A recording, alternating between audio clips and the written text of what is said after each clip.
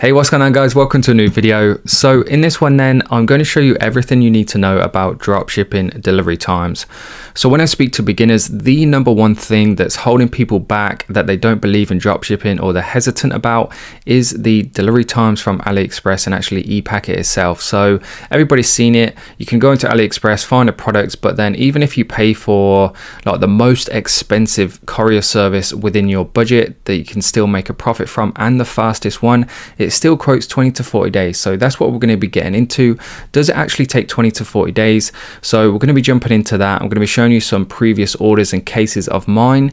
Um, I'm going to be showing you the kind of information and tracking links I send to customers to reduce the complaints and refunds because obviously um, the less of those then the better. And finally, I'm just going to be showing you a couple of quick and easy things you can do in which to actually reduce those delivery times themselves.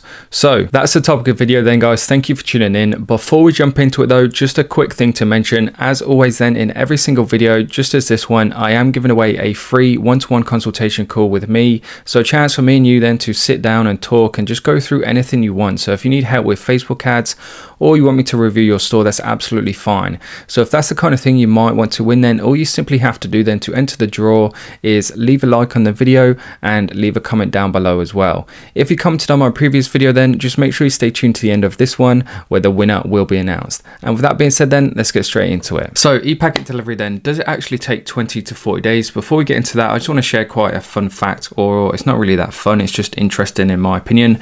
Um, I always wondered then how you can ship something from China to the UK or to the US or to Canada for like a couple of dollars, maybe three quid. Whereas if you wanted to send something to somebody in the same country as you, it's probably going to cost you the same, maybe even a bit more. Um, and when I went to China, I actually found out the reason of how they can actually ship e-packets so cheaply. And the reason it's called an e-packet then is because it's down to the weight and size of the object. It has to fit certain parameters in order to be able to send on this service. Because the way it works then is they'll typically have like a cargo plane like this. You can see you can see they'll load the plane up with these pre-palletized orders but because the plane is round and these pallets and the boxes are square then obviously there's a lot of dead space which you can see around the edges. So what they'll do is they'll actually sell this space to couriers like EMS and um, they'll pretty much just like get these big fishing nets and fill them full of all these e-packet orders in little um, packages and then they'll literally just throw them on the plane into this dead space and it's just a way of companies who are paying and chartering these planes to basically just make the most out of every trip. So there's a little fact for you. If you enjoyed the fact then make sure you leave a like on the video. Anyway back into the actual topic in hand then. How long does delivery actually take? We've all seen it before then so you can go on to aliexpress when you find an awesome product that you want to drop ship um, or just buy for yourself.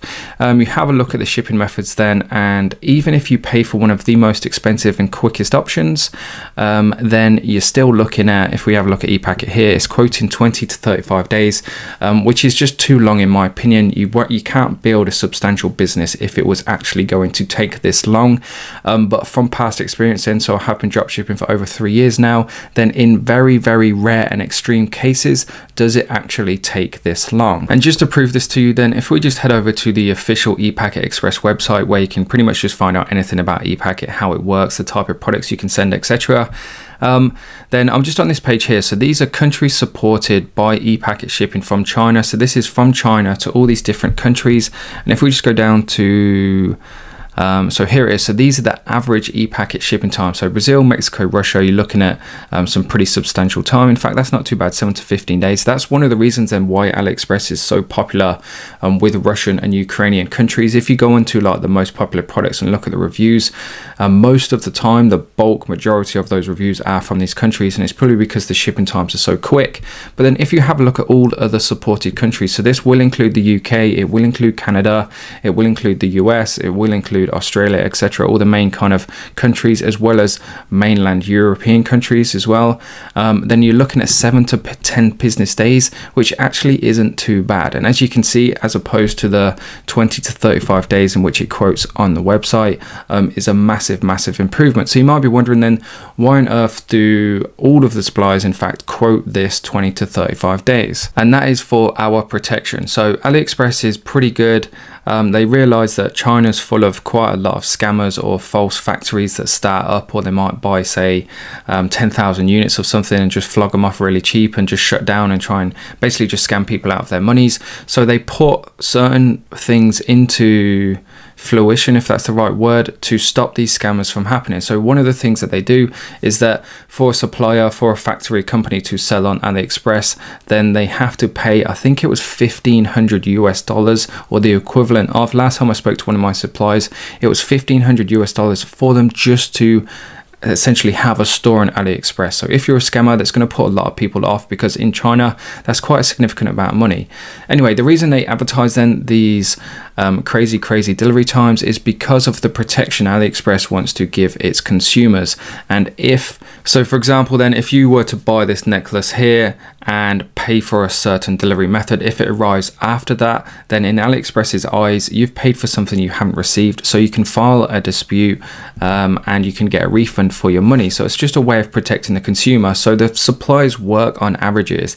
They look at that e-packet delivery times. They see that as seven to 10 business days, but then to cover themselves, they'll just increase it to make sure that the majority of the orders arrive before the time that's actually quoted because nobody's going to complain about receiving an item quicker than they expected to. So this is the reason why they do it. So just to give you an example, then here's a list of some recent appeals of mine.